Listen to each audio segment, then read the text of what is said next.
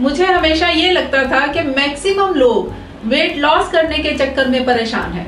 But अब लोगों के कमेंट्स और मैसेजेस देखकर ये लग रहा है कि वेट गेन करने के लिए भी कुछ कम परेशान नहीं है लोग। दुबले पतले लोगों को देखकर तो यही फीलिंग आती थी कि कितने खुश नसीब है ये लोग, जो वेट गेन नहीं करते, जो चाहे खाए, कोई फ़र्क नहीं पड़ता।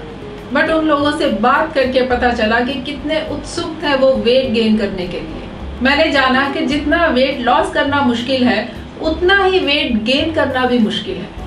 ओवरवेट और अंडरवेट दोनों को ही बीमारियाँ जल्दी घेरती हैं। एक हेल्थी पर्सन वही है जिसका वेट नॉर्मल हो आइडियल हो। जैसे वेट लॉस के लिए लाइफस्टाइल में चेंजेस लानी पड़ती हैं, ऐसे ही वेट गेन करने के लिए भी डाइट और लाइफस्टाइल में चेंजेस लानी पड़ेंगी।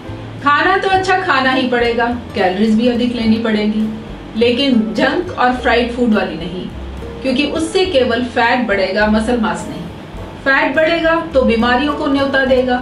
So always prefer to eat nutritious food तो जानते हैं ऐसे फ़ूड आइटम्स के बारे में जिन्हें ऐड कर कर हम अपने वेट में कुछ किलो तो बढ़ा ही सकते हैं। बस करना आपको ये है कि आपको अपनी डाइट में उन चीज़ों को ऐड करना है जिनसे आपको कैलोरीज के साथ साथ न्यूट्रिशन भी मिले। यानी आपकी डाइट बैलेंस डाइट होनी चाहिए, जिसमें fat carbohydrates protein vitamin and mineral सब full fat dairy products like milk yogurt cheese butter लें।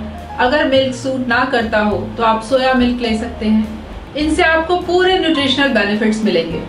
अक्सर हम लोग फैटलेस डेयरी प्रोडक्ट्स लेते हैं और बटर भी सूंघ सूंघ कर खाते हैं कि कहीं वेट ना बढ़ जाए। बट यू आर लकी कि आप बिना किसी चिंता के खा सकते हैं। बट इस बात का ध्यान रखें कि बहुत अधिक क्वांटिटी में फैट लेना भी हार्ट के लिए ठीक नहीं। जैसे वेट लॉस में कैलोरी इंटेक कम होनी चाहिए, ऐसे वेट गेन के लिए अधिक कैलोरीज लेनी पड़ेगी। हाँ अगर आप किसी कारण एक ही टाइम में बहुत अधिक नहीं खा सकते तो आपको हर दो घंटे के बाद कुछ ना कुछ खाते रहना चाहिए जिसमें कैलोरीज अधिक हो। थोड़ी थोड़ी देर बाद खाने से आपकी भूख बढ़ेगी, आपका खाने को मन करेगा और वेट गेन के चांसेस भी बढ़ेंगे। ईट प्रोटीन रिच डाइट जो आपके मसल मास को बढ़ाए। अंडे एक अच्छा सोर्स है प्रोटीन का और सस्ते भी होते हैं। इसके अलावा फ़िश चिकन रेड मीट इनमें भी प्रोटीन काफ़ी मात्रा में होती है। वेजिटेरियंस नट्स ले सकते हैं, मूंगफली, बादाम, काजू, पिस्ता, अखरोट देन ड्राई फ्रूट्स लाइक किशमिश, खुमानी एटसेट्रा इतमान से खाएँ। हर रोज़ किशमिश खाने से आपका वेट बढ़ सकता है, क्योंकि ये न्यूट्रिएंट्स का भंडार है और इसमें कैलोरीज भी काफ़ी मात्रा में होती है। मतलब थोड़ी सी किशमिश आपको काफ़ी कैलोरीज दे देती है।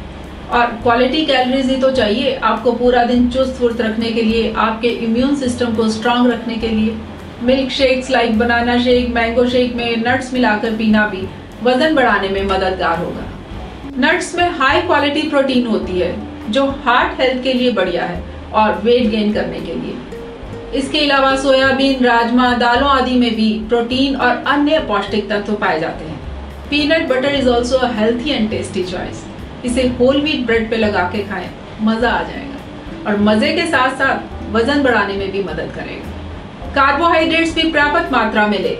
राइस लें preferably brown rice then whole grains oats pasta noodles इन सबको खूब सारी सब्जियों में मिक्स करके खाएँ। ग्रिल्ड और बेक्ड आलू भी अच्छा सोर्स है कार्बोहाइड्रेट्स का वज़न बढ़ाने के लिए। कोशिश करें कि इसे छिलके समेत खाएँ, ताकि इसके न्यूट्रिएंट्स का पूरा फ़ायदा ले सकें। Fruits like banana mango pineapple and grapes are full of vitamins and nutrients and best for gaining weight अनार के दाने खाएँ या जूस पिए, इससे आपकी भूख बढ़ेगी और आप अच्छे से खा पाओगे। वेट लॉस में खाने को बनाना के साथ रिप्लेस करने के लिए कहा जाता है, लेकिन वेट गेन करने के लिए खाने के बाद इसे खाना फ़ायदेमंद है। Fresh fruit juices and smoothies are best for gaining weight अच्छी बैलेंस डाइट के साथ साथ एक्सरसाइज योगा और वेट लिफ्टिंग भी ज़रूर करनी चाहिए। खाने को अच्छे से चबाकर उसे पूरी तरह रैलिश करें, अच्छी नींद लेकर बॉडी को पूरा रेस्ट दें, खाने के टाइम में अधिक गैप ना दें और टाइम पे खाएँ। अनहाइजीनिक और जंक फ़ूड अवॉइड करें। अल्कोहल और सिगरेट ना ही ले तो बढ़िया है। खाने से पहले पानी ना पिए, इससे आपका पेट जल्दी बढ़ जाएगा और आप कम खा पाओगे। कम खाएँगे तो कम कैलोरीज लेंगे। खाने के बाद चाय और कॉफ़ी भी अवॉइड ही करें। अगर आपका वेट किसी बीमारी के कारण कम हो रहा है या हुआ है तो डाइट चेंज करने से पहले अपने डॉक्टर से कंसल्ट ज़रूर करें। अगर आपका दुबला पतला होना जेनेटिक है तो हो सकता है आप वेट गेन ना कर पाए। लेकिन ट्राई करने में कोई बुराई नहीं। कम से कम न्यूट्रिशियस खाने से आप हेल्थी तो रह पाएँगे। अपने वेट को रेगुलरली चेक करते रहें ताकि आपको साथ साथ पता चलता रहे कि आपकी वेट गेन करने की कोशिश रंग ला रही है कि नहीं। एक सिंपल सा फंडा याद रखें कि अगर आपकी डेली कैलोरी इंटेक रिक्वायरमेंट 2000 है तो आपको 500 एक्स्ट्रा कैलोरीज लेनी चाहिए वेट गेन करने के लिए, यानी 2500 कैलोरीज खाने से पहले आपको खुद को अपने आप से पूछना होगा कि जो मैं खा रहा हूँ या रही हूँ, वो मेरी हेल्थ के लिए बढ़िया है कि नहीं। क्या इस खाने को खाने से मेरी बॉडी को वो सब कुछ मिलेगा जिसके लिए मैं एफर्ट कर रहा हूँ?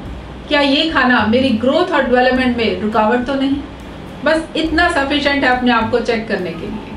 अगर तो आपकी प्रायोरिटी होगी वेट गेन करने के लिए, फिर तो आप अपने खाने पीने को लेकर पर्टिकुलर रहोगे ही और अपने गोल को अचीव भी कर पाओगे।